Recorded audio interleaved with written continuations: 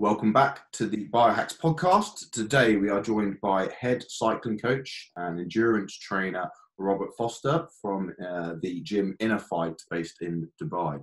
Uh, Robert, we're going to be talking all things periodization. So uh, thanks for coming on, mate.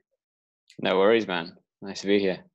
Give, uh, Robert as well. Robert, we're going full Robert. full Robert. Rob Foster. Um, do you want to give the guys a bit of a rundown how you, a bit of your background, how you got into endurance training and then endurance coaching? Yeah, sure. So um, from a kid, I was a runner. My my my uncle's Brendan Foster, so I was sort of forced into it. Uh, the whole family was banging to running. Hey, never knew that. You didn't. Ah, interesting. You must have known that. Yeah. Interesting. That's the her- that's the that's the heritage of running, mate. yeah. So um, as as a kid, like growing up, running was a big big part of my life, and I did pretty well with it. And then I pursued that into universities in terms of applied sports sciences at Edinburgh. Got into love, just love endurance, and that always was a side that tickled me. And then after uni, got into cycling. Um, really enjoyed that. Got better at it did some competitions. Did the Haute Route was probably the highlight, so it came sixth in that, which is quite a big achievement for me personally. And then we took a huge, huge crew. How did you switch into the onto cycling? Just as a a caveat, yeah, I don't really know to be honest. I just tried it and really got on with it. It's uh, it's I always like to be challenged, and I'm quite skinny, so getting strong on a bike is is probably a little bit problematic, especially in the flat. So getting and achieving that was a massive part. And I just I like the intricacies of of cycling and the, the little nuances when you're in a peloton or racing, and it's it's not necessarily the, the super strong person who wins unless they just like wipe the field. It's it's the smaller little micro races within a race that actually decide it, and the little the feints or whatever. So it's racecraft. much crossover between uh, uh, running and cycling, I mean, it's the same energy system, but it's a completely different mode. So that you, you can cross over, and there is like triathlon. Look at those guys; they can ride like beasts and they can run like animals, and they train basically the same physiology. Um, but it, if you if you're looking at triathlon, it's steady state, right? If you're looking at 800 meters, it's just full full gas, like lactate threshold way over. If you look at an actual cycling race, like a 150k hilly race, it's short periods of five minutes to three minutes that usually decide the race. Most of the time, you can sit in and cruise. So there's compare if you took a marathon to a to a 100 150k bike race, I would say they're totally different. Require in paper like the same things, but in actual reality, they're like five minute power is huge compared, and you don't get that in marathon. Yeah, that's uh, that's actually uh, going to help just clarify it all for, for me. So um, that's uh, so then, so after you kind of got into cycling, and what was the kind of transition into coaching? Yeah, so I, I started in, in Bonnie Newcastle, where I, where I applied my trade to start with. I was uh, at a gym uh, as assistant manager at a gym, and also worked in endurance at a CrossFit place.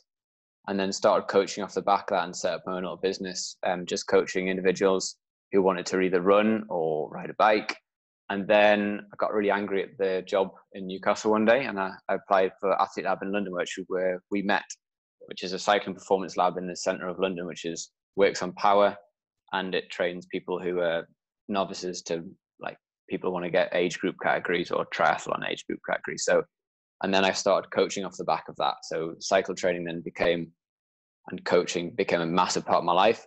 Really, really happy with it, and it's I think it's a really working with power and working with heart rate and having actual metrics for a sports scientist gives you a totally different dimension to psych, uh, to actual coaching.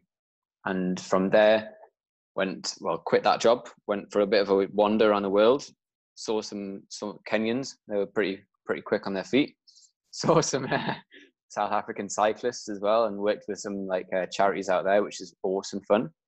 And then went to New Zealand, did a bit of coaching there. Uh, again, a bit of a jolly, but managed a cycling gym there as well.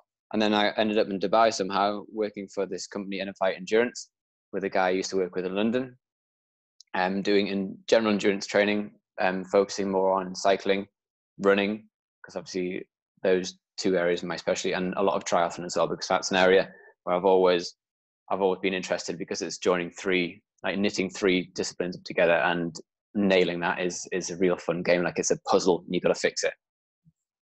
Nice. That's a, a, very succinct rundown. Really, um, really insightful.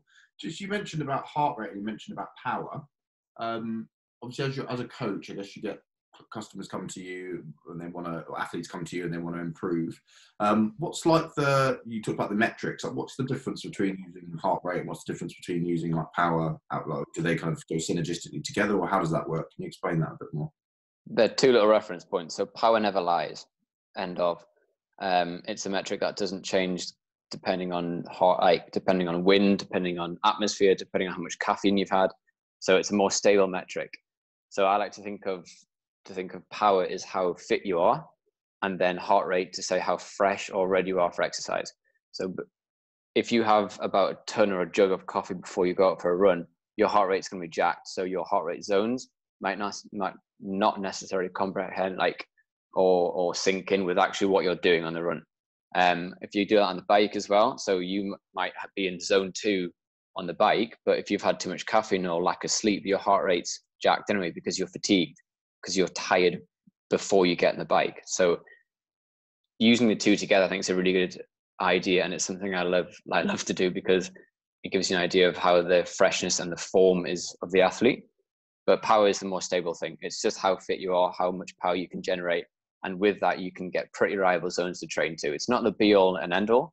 There's a lot more to it than a simple number and riding to it because, like anything, we're human beings, right? So we do vary from day to day and it's appreciating a metric that is stable but also you've got to take into life which is really interesting and heart rate is your day to day how much you recover what sort of training zones you hit like they've just brought out running power which is a really interesting concept like stride foot pods mm-hmm. um, running power has been around for years but the reliability of it day to day sorry economy or is that yeah yeah it's big. It really measures running economy.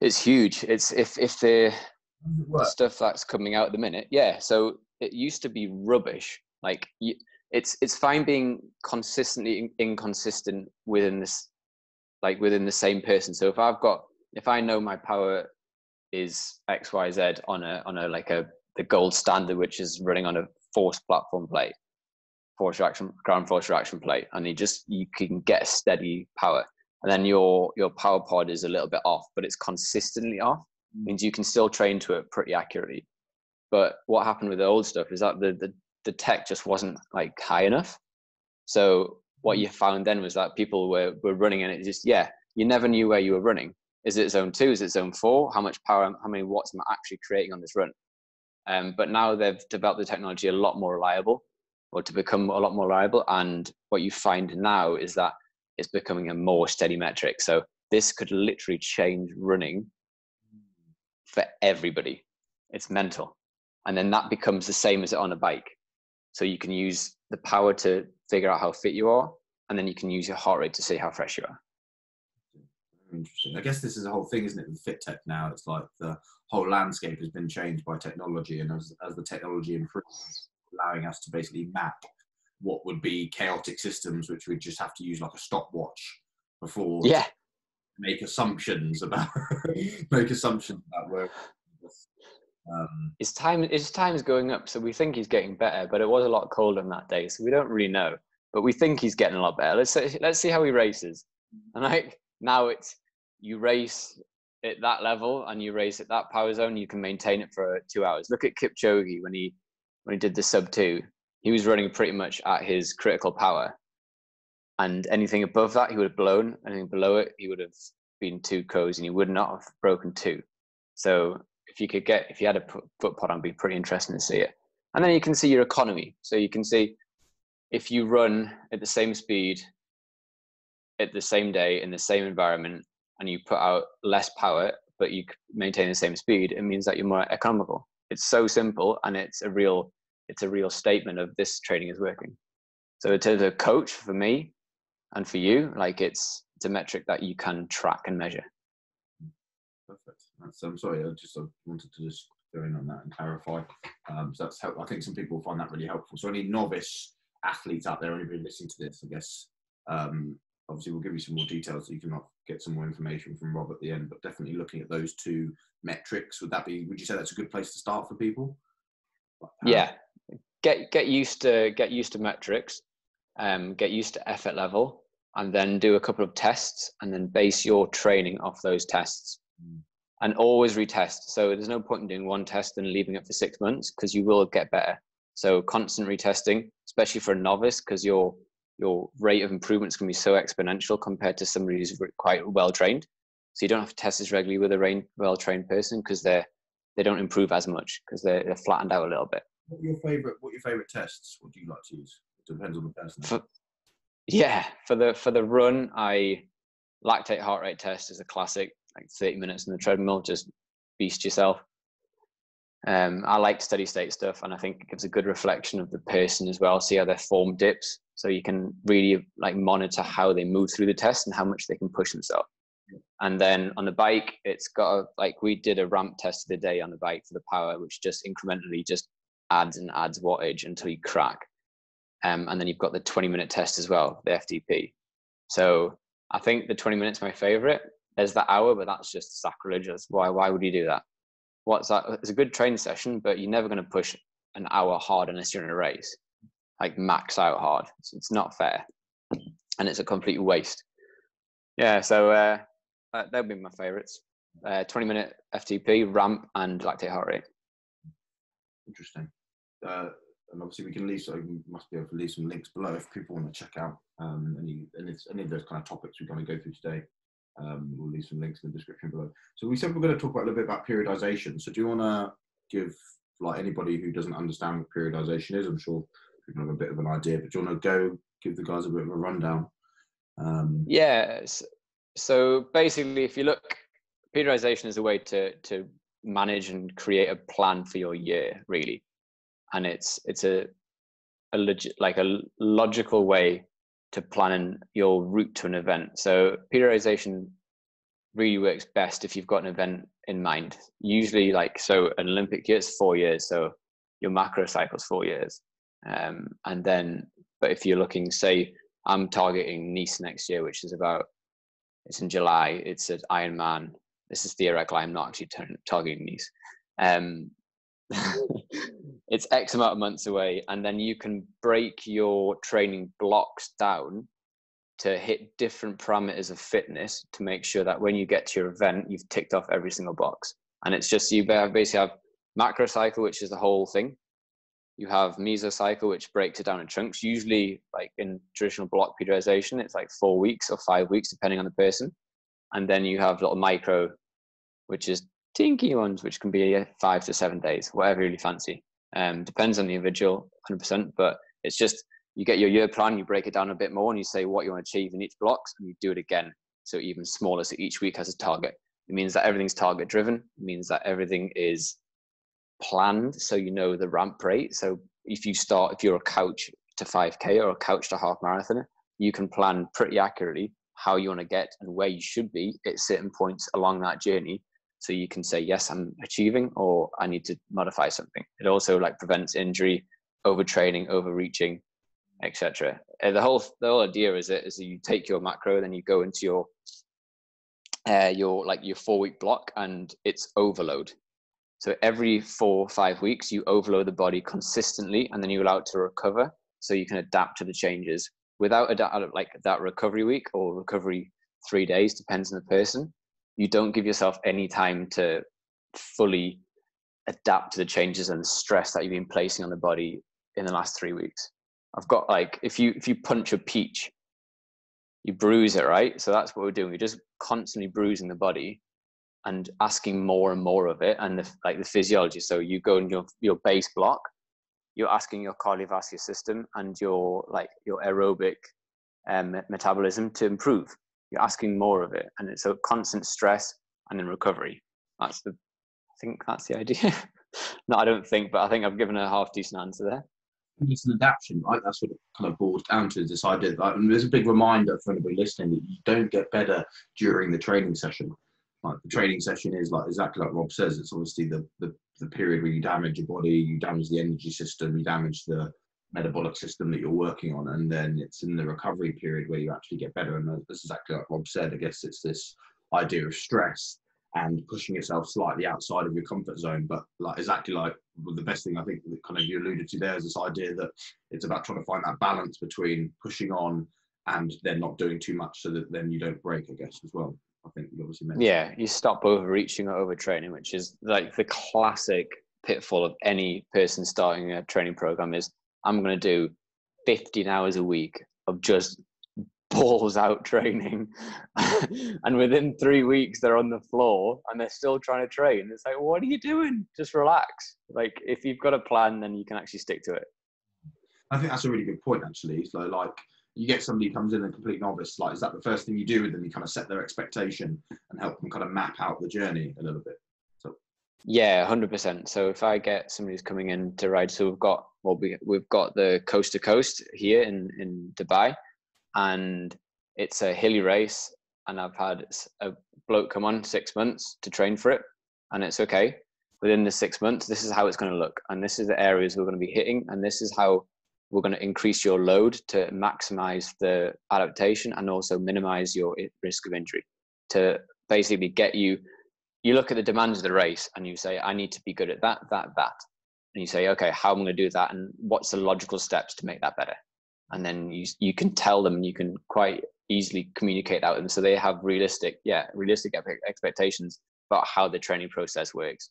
They also understand and develop a great appreciation of rest which is the hardest thing to convey to a client. Like a, an athlete is rest. No won't do it.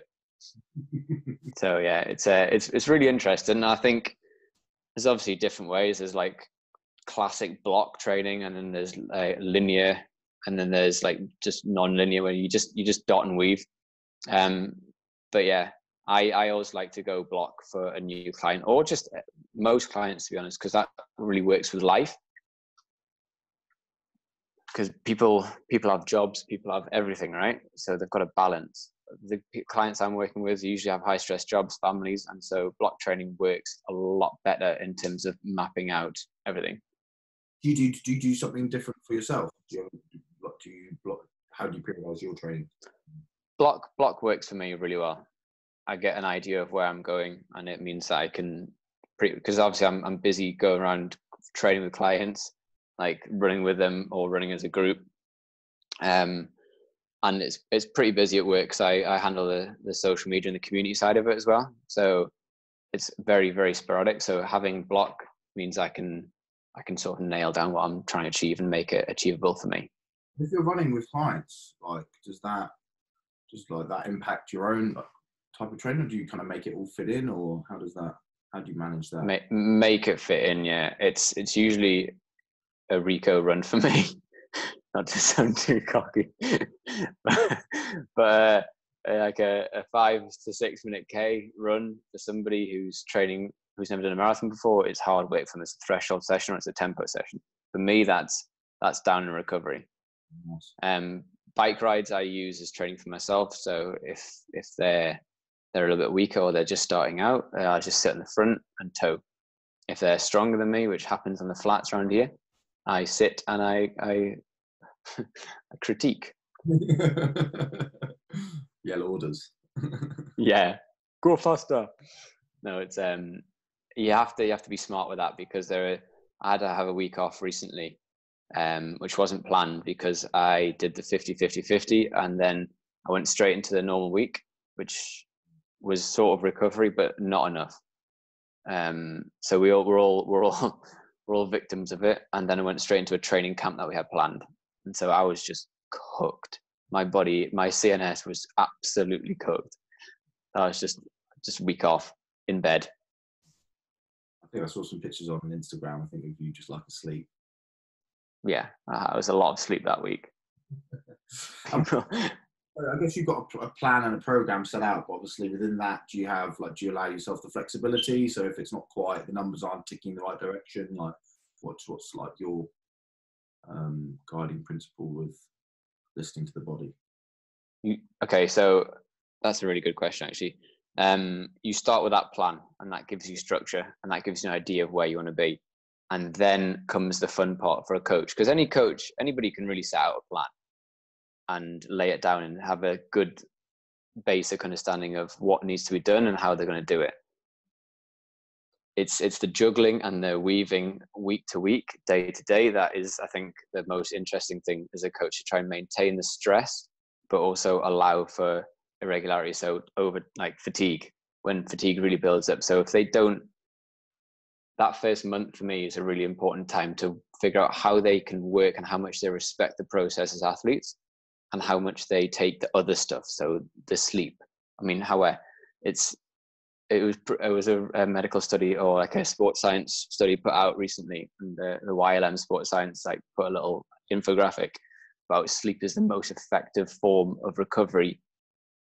Period. Like with it's and we all know it, don't we? We all we all know what good sleep does to us, but we constantly neglect that side of it. So knowing how they respect the process and knowing how they adapt to load gives you a big insight into how the athlete is going to respond to more load. And then you just juggle it accordingly to make sure that they don't overreach and they still achieve. I really like that terminology. It's nice terminology. Respect the process. It's a good one. I'm to steal that. That's um. I think I've stolen that one as well. So it's respect and trust the process.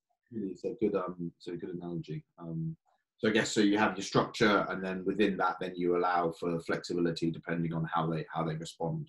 Um, and exactly, and you and you monitor that by heart rate, by general feeling. So like RPE during a run, or how they wake up, or heart rate variability. So that's a big thing we use here in fight endurance. We pretty much insist that every single athlete has heart rate variability, which basically measures the difference between the parasympathetic and sympathetic um, heartbeat, like to boom, boom, boom.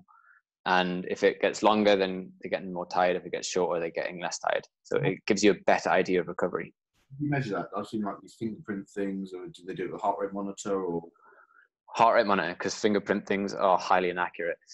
So we we basically get or uh, recommend that you wake up, stick your heart rate strap on, lie there for two minutes, call it a two minute extended lie in, and just stick the app on and it records and then it, it syncs up with TrainingPeaks and then we can track it. Obviously the first two three weeks is the data is all over the place because we haven't got a base of data to base it off. Um, but as you get into like third four month then it really it really rings true and you can say quite accurately yeah you're knackered. Take a day off. Mm, interesting it's actually cool or you can get those whoop bands you've seen those and the, there's also the rings now that also recover um, monitor the uh, yeah the heart rate variability, which is that's super cool because that means you don't have to think about it; it's just there, which is probably more accurate because you think about it more. You're gonna your heart rate's gonna rise because of apprehension about it. Definitely. Yeah, so obviously you've got your, your structure, and within that, then so we have your flexibility, and obviously then you try and now we're even adding metrics not only to the loading side, but we're also adding a metric to the kind of recovery side. I guess um, I think, yeah, obviously more data, I guess, allows you to kind of plan and kind of be more, make more informed decisions about kind of which direction you're going to push push the athlete in, I guess, doesn't it? So, hundred um, percent. Um, what what's like kind of like the shortest, more, most intense type of training? I'm just thinking about maybe if we kind of go from short to long. Like what's what's the kind of periodization? Like what's the shortest uh, competitions and events that people um, do with you? and what's the periodization look for that what are kind of key things you're looking for and then maybe if you go through to all the way through to like what's the longest um, type of events like ultra type of ultras god i love the ultra so the the shortest competition i'm training somebody for at the minute we all we all tend to go long here in dubai um let's do a theoretical somebody was doing a john smith all right, Oh, John. John Smith. All right. Uh, okay, so John Smith's training for a 10k. Okay. Um, so Mr. John Smith, or is a time 10 mile time trial. Similar, similar sort of effort. So pretty much at threshold. You're looking, firstly, to it's. I mean, it's pretty. It's pretty similar when you look at it on a bit of paper. You always want to start with the fundamentals, which is the capacity to produce energy aerobically. So that's your your base block. and then you build it up. So you, you've got these phases, right? So you've got base phase, or actually before all of that starts, you've got preparation phase. So that's the same with anybody. Um, if it's a power athlete going short, you want to develop power. So it's usually involves a little bit more like power lifting and strength and conditioning on the back of that as they prepare to train. It's, it's the keys in the world really. Um, and you look at any sort of irregularities in their, their biomechanics and their gait in things that you automatically see need to be fixed. So to prepare them to take on the load that's going to be here. In the case of a, a threshold athlete, so 10, 10K, 5K, or 10 mile time trial, you're looking at their ability to cope with intensity because the the efforts which come later on near race competition are going to be a lot more intense than say somebody in a 70.3 or full Ironman, like period. And the rest recovery is going to be a lot higher. So you've got to prepare them aerobically first after the preparation phase, and then you're going to move them through pretty sharply, like strength endurance, so they're they're resilient to intensity and then you look at further on you you go basically start to build up their threshold and work a lot more threshold.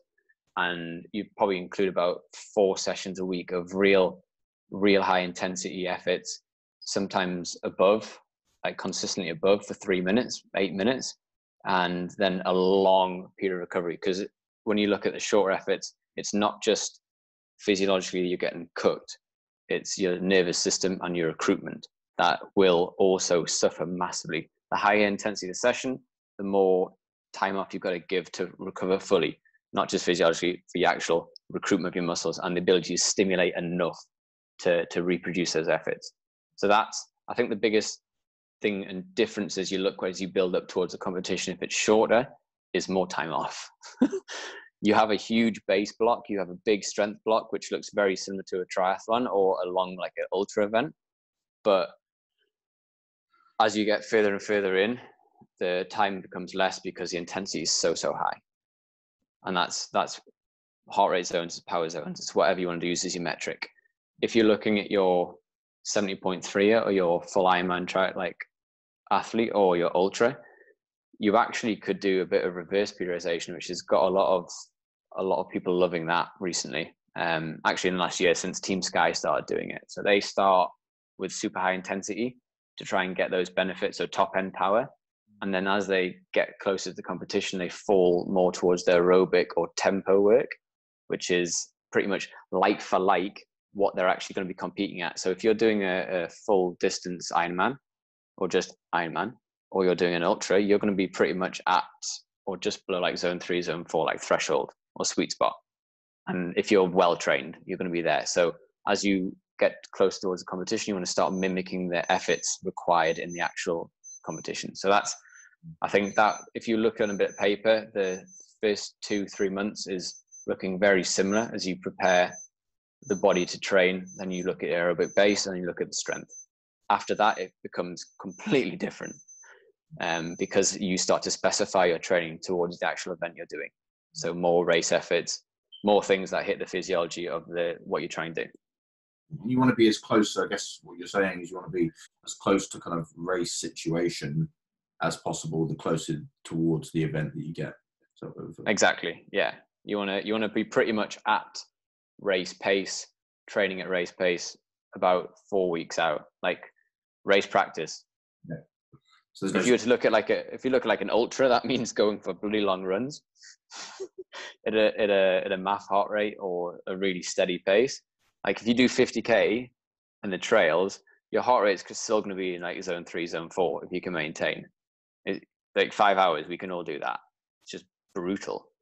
Um, but if you're but if you're if you're training for 800 meters or 5k, you're going to be doing so many efforts just below and repeat with a lot of rest, so less continuous, more more interval based training that is to recreate the, the efforts that you're doing. So massive, massive lactate threshold and build up and feral, feral training.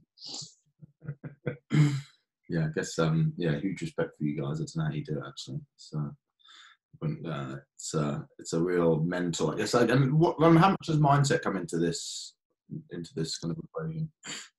Huge, especially ultras. I, I, I found so I did my my first like Dubai Ultra like a couple weeks ago that that 50 50 so it was a 50k bike 50k run and a 50k bike. The only little that sounds like ah you get give it give that a nudge but we did it into the light so it's the summer here in dubai. It hits like 50 55 degrees most days at the minute. Uh, we started just before sunrise so we did we polished the 50 first 50k bike in about an hour and a quarter and it was absolutely disgracefully fast, which is great because I just sat at the back. uh, and then we went into the run, and the sun came up, and it was just got hotter, and it just got slower.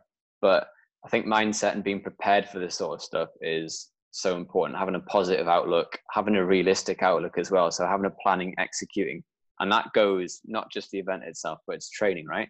So having a positive mindset and uh, having realistic expectations and being able to maturely deal with things that don't necessarily go right is is so important. Petulant, throwing your prams out the, the, the toys out the pram, just doesn't work. It leads in in like inaccurate, inconsistent, and rubbish training and racing because you've always got an excuse. Hundred percent. And I guess that's the thing. I guess the higher, closer towards the elite level you get, obviously, the more you're having to manage chaos. Um, I guess not even elite level. I guess it just happens all the way through the training cycle, doesn't it? But I guess it's like being able to manage when things don't go right. Can you still perform? Can you still? Um, do you have the? Do you have the uh, agile agileness of mind to be able to, or have the planning? I guess maybe is actually having planned what happens if what happens if or when. Um, yeah, yeah. Oh, it's huge, right? Um, a really interesting thing that's happening here because of the fact that it's moving in September. Are we in September? I know. Uh, apparently, it happens here. This is my first summer in Dubai. It gets super humid. So at the minute, it is ridiculously humid, and pace, like heart rate, heart rate is out the window. Power is down. People are struggling to exercise to to these normal metrics that day in day out they train to. So then you go RPE, and then you go mindset. So are you mature enough to handle the fact that your 1k pace at the minute is just not there? Because you can't the ceiling doesn't allow you to. But are you are you agile enough to to react to that? Because i guess because of the environment it's interesting. It's like yeah i guess what you're doing is you're aligning what's going on around you something which is out of your control um, and your ability to be able to react and be able to be kind of see the long it's like long game isn't it? Like being able to see the bigger picture. Exactly yeah. So it's a huge ego check for a lot of people, and it's uh, it's interesting trying to communicate that over to them, saying just just leave it, leave your paces at the door if it's super humid, but you're still doing good training if your RP is accurate. So if you're honest with yourself and you say, "Oh, this feels really easy," but you're actually going like like eyeballs out, that's not honesty. That's not relating an actual number, like a feeling, a sensation to your heart rates that you previously trained against. So it's it's super interesting and that in itself is why periodization is good. I think it, it brings it back into there because if you've got a plan of where you want to be and how hard you want to train and what's coming up the next day then say humidity is rubbish outside you still know that you're training aerobic you're training strength. Mm. so you can adjust a lot quicker i think if you know why you're doing it. Measure you can manage isn't it? That's what they say the old adage. So um like that I did, yeah. It's decent. Um, right, we're going to look to look to wrap up in a minute. So don't take too much of your time to make, uh, recover. Um, just one, one final question. So we've talked a little bit about novice periodization. What about for guys who are trying to push on and they want they're more at the top of the spectrum, like the kind of more uh, getting towards the elite level? Um, what kind of differences do you see? Like, what's the difference between somebody at novice? Like, what just any insights for anybody who's a bit further down the line? Um, a, a bit further down the line, right? So, in terms of your periodization, you know, and you've got a lot more data to back up what you've previously done. So, you're not shooting in the dark. You know, you're you're a known quantity. So, training can be a lot more specific to weaknesses that you you know, and then results in terms of monitoring, tracking progress can also be a lot more accurate. And you know where you are because you've got two, three, four years worth of data to back that up and use as comparisons. I think that's a, a really big thing. So also non-linear, non-linear uh, periodization. uh, you train until you get better. And for a, an elite athlete, that's sometimes what they take on. Mm. So they just push, push, push, and they do it on a weekly basis to see how the body's adapting. And then using the old metrics, they can move on to the next blocks once they're done. done. If that makes sense. Yeah. Instead of like saying it's going to take four weeks and then we'll move on, they say, okay, we'll monitor it and we'll see if so. We'll see. We'll, we'll repeat the session we did three weeks ago, and if your efficiency factor is less than like five percent, or if your power to heart rate or like yeah, power to heart rate ratio is less than three percent, which means you're working aerobically, which means you've adapted properly. We can move on to the next block. Mm. So a more a person who's a bit further down the line can doesn't have to be so rigid to move on to the next block before they've uh, made the adaptations that are necessary to improve. As I say, so if they pick the and if they pick the correct tests or the correct parameters, they know that getting X in a particular test or in a particular parameter will then knock on to allow them to get Y, which then knocks on to their race, but making them allowing them to kind of beat their PB type of thing. So exactly, yeah, yeah. They, they, they know they know uh, like stimulus and consequence. So or adaptation and consequence. So they know that that's going to make that better and last year they were doing that and they're this way this year they weigh this much and they're putting out that much power. So it just means it's a little more streamlined and also you get a lot better feedback. Well if um if guys want to find any more information out about you or what you do is there a place they can contact you we can leave a, a link in the description box below yeah, sure. So you can go on my Instagram and drop me a message there. So that's just re underscore Foster. Or you can drop me an email, which is rf at innerfight.com. Um, or you can go through our main InnerFight page. Brilliant. That's been super helpful, mate. We'll know, get you back on again at some point. We'll um, delve into some more scientific principles. It's been um, super helpful. We really appreciate it. Mm, running economy. I, I should have thought of that. That's sick we'll, we'll get onto that. Um, guys, if you like the video, hit like as it obviously helps us uh, with the YouTube algorithm. Also hit subscribe and the notification bell. Uh, so when we get Rob back on, we produce more cool content like this, you'll uh, be the first to get it. Rob, appreciate you. Thanks for coming on, buddy. No worries. Thank you very much. Good to see you.